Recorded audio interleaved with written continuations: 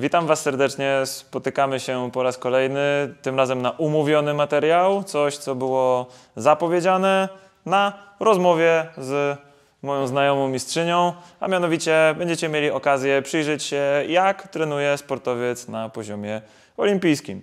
Troszeczkę pracy siłowej, gdyż Natalia jest, można powiedzieć, w trakcie sezonu. Będzie to bardziej robota skupiona na podtrzymaniu tego, co jest, ponieważ nie ma na razie jakiegoś dłuższego okresu, żeby przygotować się na coś mocniejszego. Świeżo po treningu. Świeżo po treningu, ale No to Radę. długiej rozgrzewki robić nie będziemy, dlatego przechodzimy od razu do zabawy, idziemy na trawnik. Dwie długości poproszę w kroku dostawnym, a potem zaczynamy z Twoją ulubioną piłeczką.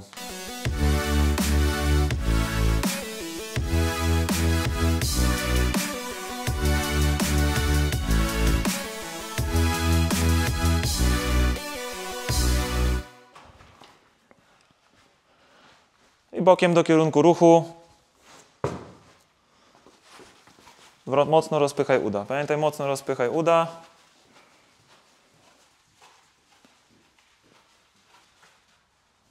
Jedna rzecz, którą powtarzam każdemu, kogo uczyłem jako trenera, to zawsze stań dalej, tak żeby widzieć całość. Czyli jeśli zajmujecie się tym zawodowo, to nie podchodźcie do kogoś tak, że jesteście pół metra, metr od niego, od niej, tylko rzeczywiście macie cały obraz, widzicie całą sylwetkę i jesteście w stanie korygować błędy. Praca trenera nie polega na tym, że zakrzykujemy wskazówkami i poprawkami, tylko można niekiedy poczekać i dopiero dać jakiekolwiek wnioski po zakończeniu serii, ponieważ jeśli człowiek ma okazję popełnić błędy, to będzie też miał możliwość wyciągnąć z tego sobie wnioski i skorygować następny ruch. Ok, Natka, gumę na śródstopie i lecimy w podporze. Przyciągnij kolano, przy, przytrzymaj, policz do 10, wracamy, druga noga, przytrzymaj, policz do 10. Trzy razy na każdą stronę poproszę, pilnuj tylko ułożenia miednicy, tak żeby cały czas lekko mieć ściągnięte do siebie. Druga noga cały czas jakby Cię wypychała do przodu, spięta, sprężona. Przyciągnij, przytrzymaj i po obydwu nogach chwilkę sobie odpocznij. Pilnuj linii karku, żeby głowa nie, nie leciała do dołu, bo wtedy za mocno będziesz zaokrąglać wszystko na odcinku piersiowym. Więc na przedłużeniu czubek głowy, tak jak kość ogonowa, struna.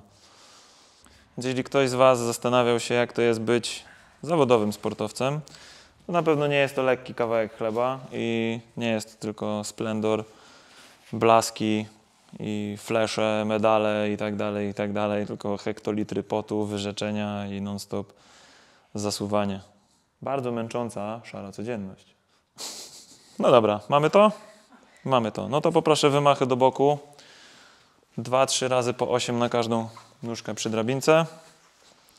Jedna z rzeczy, którą można wyciągnąć z tego ćwiczenia, pomijając to, że jest dobrą opcją na dogrzanie bioder, to jest jednym z najlepszych możliwych wariantów na stabilizację kostki. Czyli cały ten ruch, gdzie druga noga jest wahadłem, a stopa podporowa musi stabilizować całość w ułożeniu tym lateralnym, jest tak naprawdę bardzo dużym wyzwaniem dla mięśni łydki, mięśni stopy, stawu skokowego itd. itd. Ćwiczenie, które pewnie większość z Was miała do roboty na WF-ie w podstawówce i podchodziliście do tego raczej z olewczym stosunkiem, no to spójrzcie na to teraz z innej strony. Wracamy do podporu, daj nogę na wykrok. Dobra, i teraz tak, tą odepchnij, otwórz, połóż ją na krawędzi i z każdym wydechem biodro wciskasz. Pięć oddechów, dwa, trzy razy każda noga.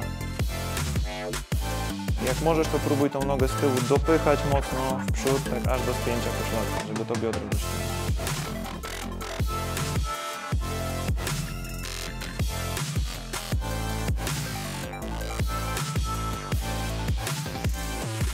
Łapki wciśnij w ziemię, nogi proste, głowa lekko uniesiona. I raz jedna, raz druga wymachem do góry. Tylko pilnuj kolana prostego. Czyli najpierw napnij czwórkę i dopiero wtedy idź wymachem w górę. Ile razy? 10 na każde kopytko poproszę.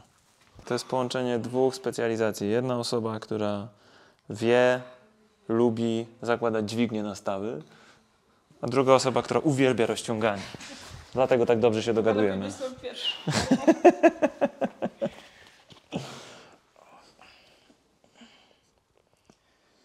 Swoją drogą, jeśli pracujecie w roli trenera i nie skupiacie się, nazwijmy to, na wszystkich aspektach, jak elastyczność, siła, sprawność, wydolność, etc., etc., to nie bójcie się, żeby zasięgnąć języka, opinii, i tak dalej od osób, które są bardziej wykwalifikowane w danych kwestiach, aniżeli wy, ponieważ prawda jest taka, że sport zawodowy powinien opierać się na pracy w sztabie, czyli każdy ma swoje jakieś tam powiedzmy dział, w którym się specjalizuje i odpowiada całościowo już za przygotowanie, planowanie pod właśnie względem tej konkretnej jednej cechy.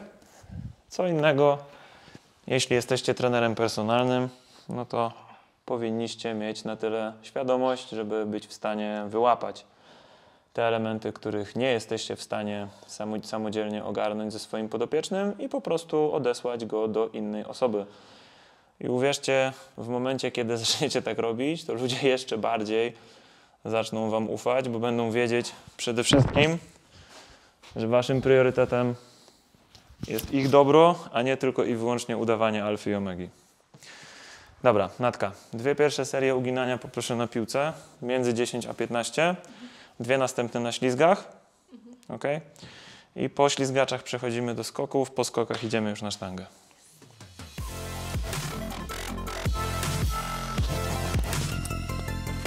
Dobra, ciśnij mocno łapki w ziemię, bioderka wysoko, palce na siebie i dociskaj pięty do piłki z całej siły i opuszczaj w kontrolowany sposób. Pil- Pilnuj tylko, żeby ze stóp się nie zrobiła kaczucha. To są lata pracy. Stalowe uda i sprężyny zamiast łydek.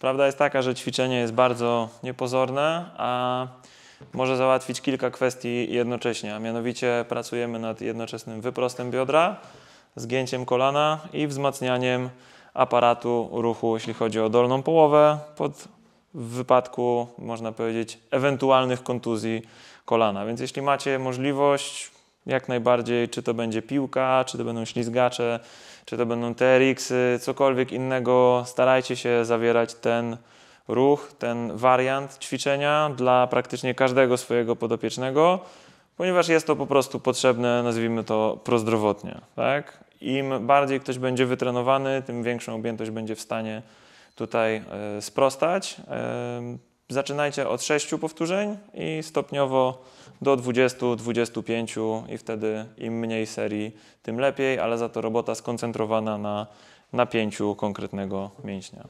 Ok, różnica, którą mamy w przypadku używania ślizgaczy a piłki jest taka, że tu dochodzi element oporu, jakim jest tarcie. To zmienia praktycznie całkowicie odbiór tego ćwiczenia, ponieważ tak jak mamy piłkę, jest to nazwijmy to sferyczny obiekt, no to tam jedynym oporem jest opór toczenia. Czy guma mm, nadmuchana na 60 cm tocząca się po ziemi jest dużym obciążeniem, Natalia? No porównaj jedno a drugie. No to jest zdecydowanie gorsze. No właśnie, więc tu schodzimy na dużo mniejszą liczbę powtórzeń. Tak jak wcześniej Natalia robiła 10 do 15 ruchów, tutaj chciałbym 6 do 8. Również dwie serie i idziemy troszkę poskakać. ok? Bioderka wysoko do góry na początek.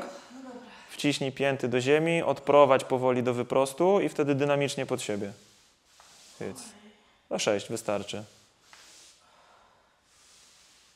Trzy. Postaraj się, żeby dwie nogi równo, równocześnie szły. No. I jeszcze raz. Okej, odpocznij. No.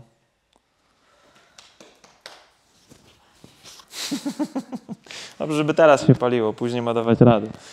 Kolejną fajną rzeczą, jaką macie w wykorzystaniu mm, osobnych, powiedzmy, punktów podporu, jest wyłapanie jakby asymetrii między jedną a drugą stroną. Wiadomo, nie jesteśmy symetryczni jako ludzie, tak? I zawsze te różnice będą, tylko im będą one mniejsze, tym mniejsze również ryzyko powstania jakiejkolwiek kontuzji, zwłaszcza w sporcie Tam, gdzie mamy dynamiczne zmiany kierunku, bardzo dużo ruchu wielopłaszczyznowego, tak jak jest to w tenisie stołowym, gdzie mamy z kroku dostawnego przejście do doskoku, odskoku i tak dalej, i tak dalej. Nogi non-stop muszą chodzić. Wiadomo, jedna będzie tą, powiedzmy, główną, podporową zawsze dla każdego z nas, ale nie ma to oznaczać, że druga odstaje nie wiadomo jak mocno od tego, żeby była po prostu no, tragicznie słaba w porównaniu do tej głównej.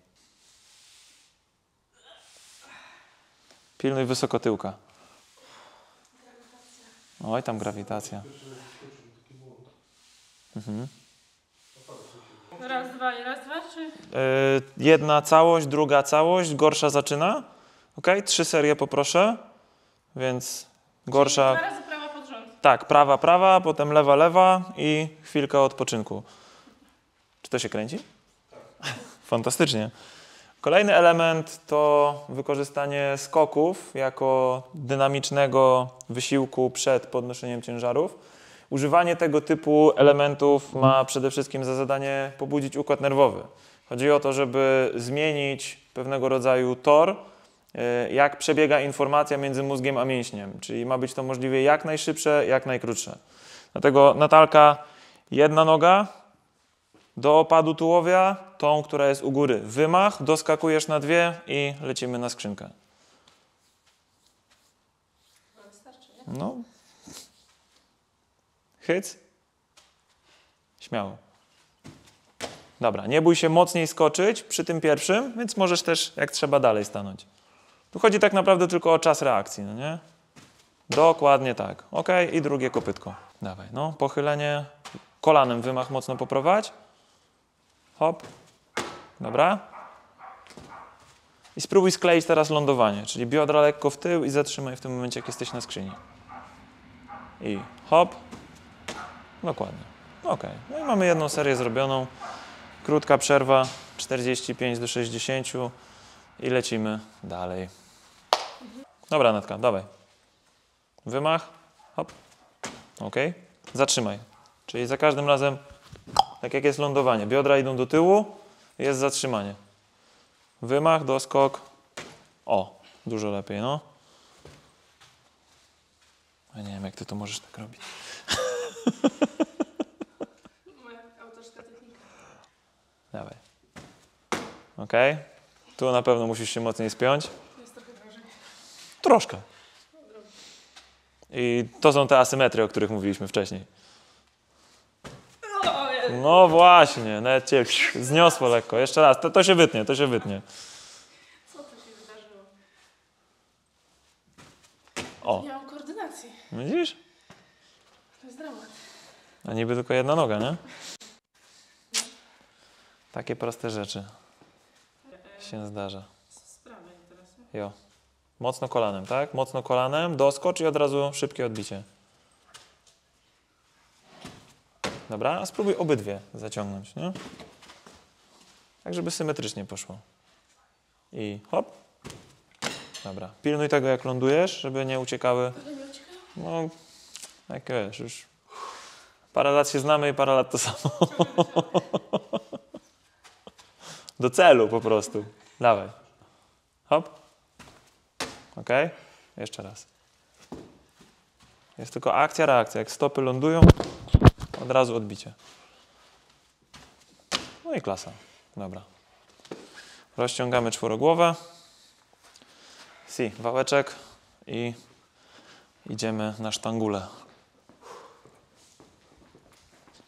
Jeden z mitów, który należałoby w końcu ostatecznie obalić odnośnie przede wszystkim rozciągania, to jest to, że ono będzie przeszkadzać, jeśli chodzi o trening, albo z drugiej strony, że nie może być tak naprawdę statycznego rozciągania na treningu. Mo- Może być, tylko kwestia jak długo. Tu nie chodzi o trzymanie 5 minut jakiejś pozycji, tylko 10-15 sekund, tak żeby delikatnie zmienić mm, tylko i wyłącznie jakby naprężenie tego mięśnia poprzez świadome działanie, czy to utrzymanie jakiejś pozycji i rozluźnienie, czy złapanie konkretnego kąta, przy którym będziecie w stanie rozluźnić dany mięsień, przygotować go później przez to na szybszą reakcję skurczu i rozciągnięcia. Spróbuj jeszcze bardziej wci- wcisnąć się kolanem pod wałek. To już na drugiej nocy. Dobra, no, okej.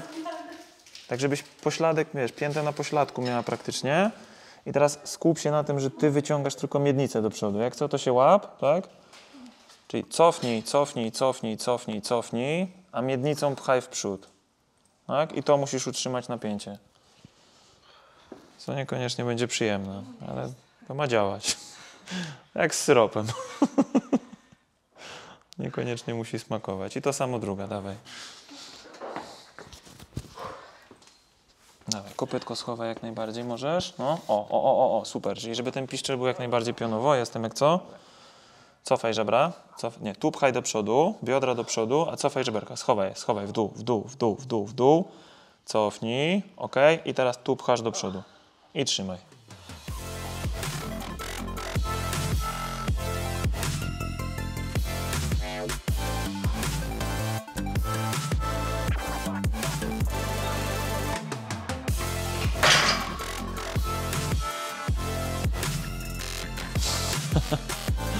Zobacz, czy wysokość będzie dobra.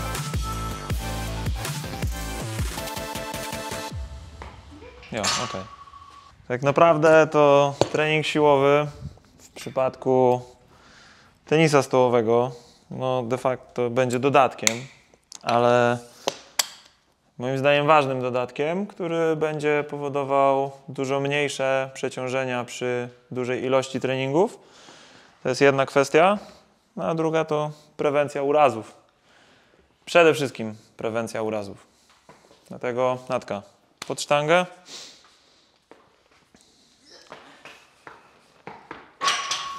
Śmiało, śmiało, śmiało. Kroczek do tyłu. No, jestem, dobra. Po cztery na nogę, zakrok, kolanko do ziemi. Za każdym razem dotykasz, powolutku. Powoli, powoli. I adzin, jedziemy.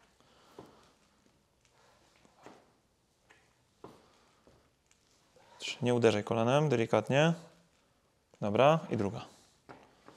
Kontroluj i do góry. Hops.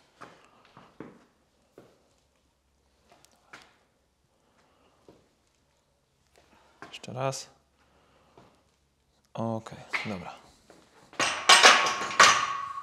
Siedzi. Chwilę luzu.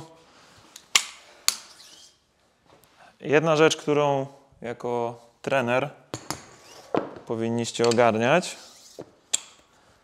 to dopasowanie środków i ilości tak naprawdę do tego, co ma robić podopieczny. Więc w tym wypadku, kiedy zawodniczka jest w trakcie sezonu, ma duże obciążenia meczowe, treningowe, jeśli chodzi o sam sport, robienie jakiegokolwiek progresu tak naprawdę no, graniczy z cudem. Dlatego praca tutaj jest bardziej na podtrzymanie, więc w tym wypadku dzisiaj dążymy tylko do jednej ciężkiej serii i tak naprawdę tyle niekiedy wystarczy. Jedna ciężka seria na sesję treningową, tak żeby zastymulować układ nerwowy i dalej idące za tym mięśnie do większej i mocniejszej pracy. No to jedziemy.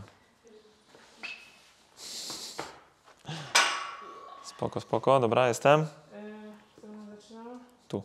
Tam do tyłu. Jo, powoli, powoli, spokojnie. I dawaj, raz. Tylko nie uderzaj, nie? Dwa. Delikatnie, delikatnie, żeby nie było łupnięcia. Trzy. Jeden z atutów, jaki widzicie tu, to sztanga, która tak naprawdę pozwala na nieobciążanie obręczy barkowej, czyli nie wymusza tego, że muszę ją trzymać, tylko tak naprawdę gdyby Natalia pochyliła się jeszcze troszkę bardziej, nie musiałaby w ogóle łapać za uchwyty, używać rąk do przytrzymania ciężaru. Jedna z lepszych opcji, moim zdaniem, do trenowania dolnej połowy ciała w momencie, kiedy macie tak czy siak duże obciążenia już nałożone na resztę.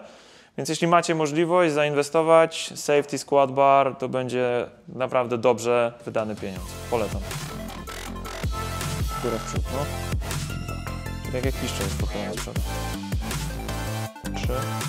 Okay. I kontrola w dół. Hyc. Raz. Hop. Dawaj, dawaj. Trzy. Nie rozluźniaj się. I od razu do góry. Natalia teraz przygotowuje się do świąt Bożego Narodzenia, proszę Państwa, i będzie mieszać bigos łokciem.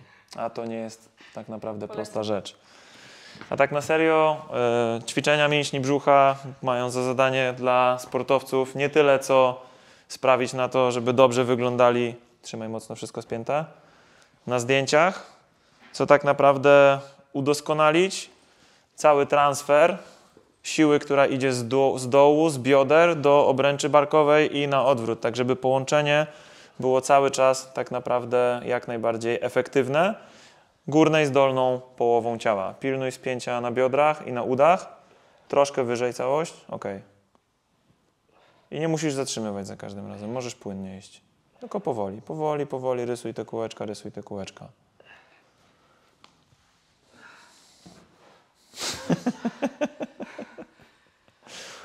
Dobra, dawaj na ławkę do grzbietów. Chodź, laska.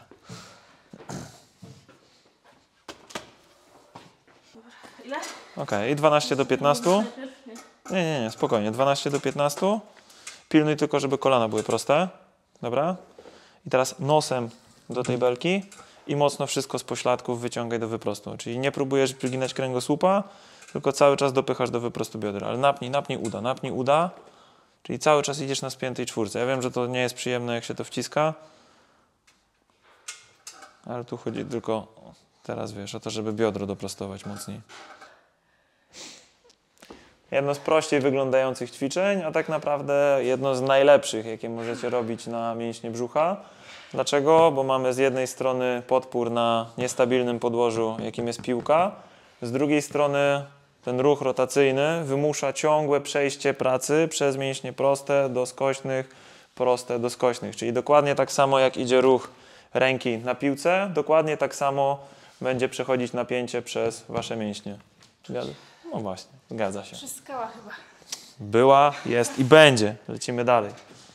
Ostatnia rzecz, która była robiona, mianowicie wyprosty na ławce.